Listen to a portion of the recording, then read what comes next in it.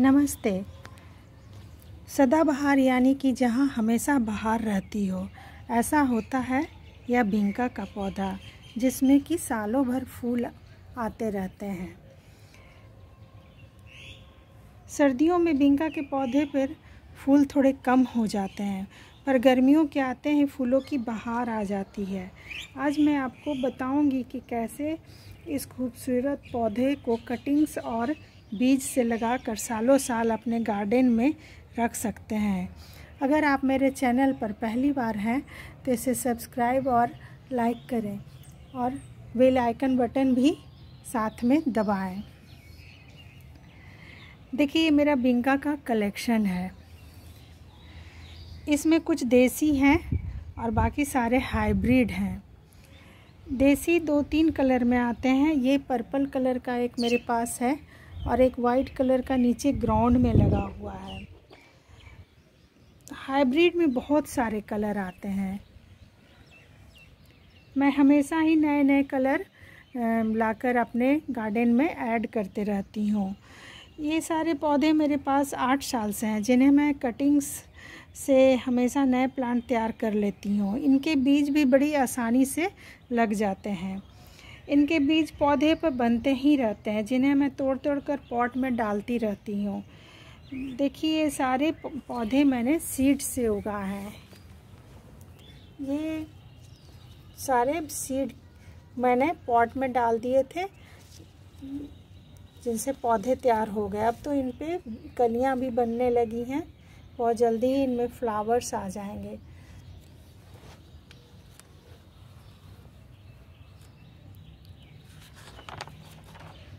आज मैं अपने सारे भिंका की कटिंग लगाऊँगी।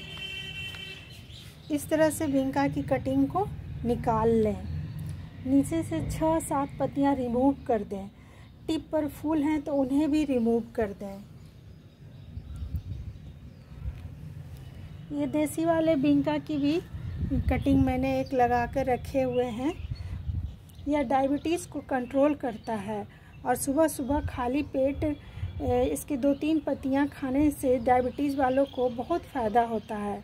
इसके फूल और पत्तों का यूज़ बालों की ग्रोथ बढ़ाने में और स्किन के दाग धब्बों को हटाने में होता है। हाई ब्लड प्रेशर वाले और आँख की बीमारी में भी इसका इस्तेमाल करते हैं। आजकल इसका इस्तेमाल कैंसर ट्रीटमेंट में भी किया जाता है। बिंका की कटिंग मैं पूरे साल लगाते रहती हूँ। इस इस पॉट में मैंने रिवर सैंड में कुछ लगा कर रखे हुए हैं जो कि बहुत अच्छे से तैयार हो चुके हैं। अब मैं आ, कुछ कटिंग्स लगाऊँगी इस पॉट में। इस पॉट में मैंने पेन की सहायता से होल कर लिए हैं इस तरह से होल बना लिए हैं। अब इनमें मैं कटिंग्स डालने वाली हूँ। ये कटिंग्स मैंने टिप के ऊपर से लिए थे। टिप वाले कटिंग्स ज़्यादा अच्छे से चलते हैं और इस तरह से इतने हेल्दी ब्रांच लें। बहुत सॉफ्ट ब्रांच भी ना लें और बहुत ज़्यादा हार्ड ब्रांच भी ना लें। इस तरह के ब्रांच बहुत सही रहते हैं लगाने के लिए। इस तरह से मैं इन्हें लगा दूँगी। फ्लावर मैं बाद में रिमूव कर दूँगी। अभी मैं आपको कटिंग लगा कर दिखाती हूँ। इनकी कटिंग लगाना बहुत आसान है। इनमें किसी रूटीन हार्मोन लगाने की कोई ख़ास ज़रूरत नहीं होती है बड़े आसानी से जड़ निकाल लेते हैं। मैं रिवर सैंड में ही हमेशा कटिंग्स लगाती हूँ। इसमें इनके जड़ बड़े आराम से निकलते हैं। ये नदी की रेतीली मिट्टी होती है, जिसमें कि दाने काफ़ी महीन होते हैं। मोटे दाने नहीं होते हैं बालू के। इस तरह से मैंने मैंने आपको दिखाने के लिए इतने कटिंग्स तैयार किए थे। अभी मैं इसमें और भी कटिंग्स डालने वाली हूँ। इस तरह से लगा लें और किसी छायादार जगह पे रख दें। हम्म।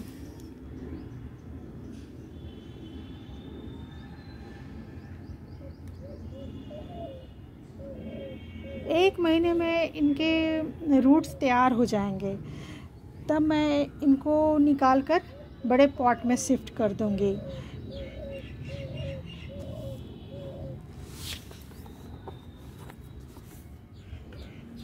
इस, देखिए इसमें मैंने कुछ समय पहले ही कुछ कटिंग्स डाले थे। ये रिवर सैंड में ही लगे हुए हैं। ये आज मैं निकाल कर आपको दिखाती हूँ। इसमें फ्लावर्स भी आ गए हैं।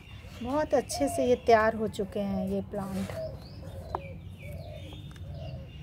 इनके रूट्स मैं आपको आज निकाल कर दिखाती हूँ। देखिए इनके रूट्स कितने अच्छे से डेवलप हुए हैं। बहुत अच्छे से इनके फ्लावर्स भी आ गए हैं और ब्रांचेज भी एक दो निकल कर तैयार हो गए हैं। रूट्स भी देखिए इनके कितने ही हेल्दी हैं। ये देखिए। ये एक कटिंग है और एक कटिंग मैं और दिखाती हूँ। ये देखिए। ये कटिंग्स हैं। इनके रूट देखिए कितने हेल्दी हैं। अब ये एक रेड वाला देखिए।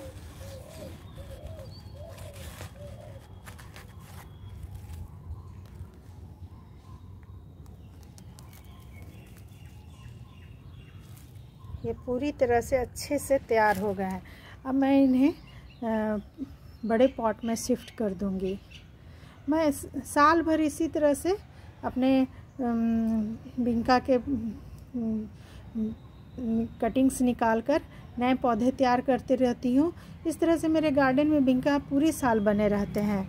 ये कभी भी मेरे गार्डन में ख़त्म नहीं होते हैं। मैंने आठ साल पहले इन पौधों को नर्सरी से लाए थे। तब से मैंने फिर से इन्हें दोबारा नहीं ख़रीदे हैं। बीज से या फिर कटिंग से, इस तरह से मैं इन्हें रिपीट करती रहती हूँ। आपको मेरा आज का वीडियो कैसा लगा बताइएगा।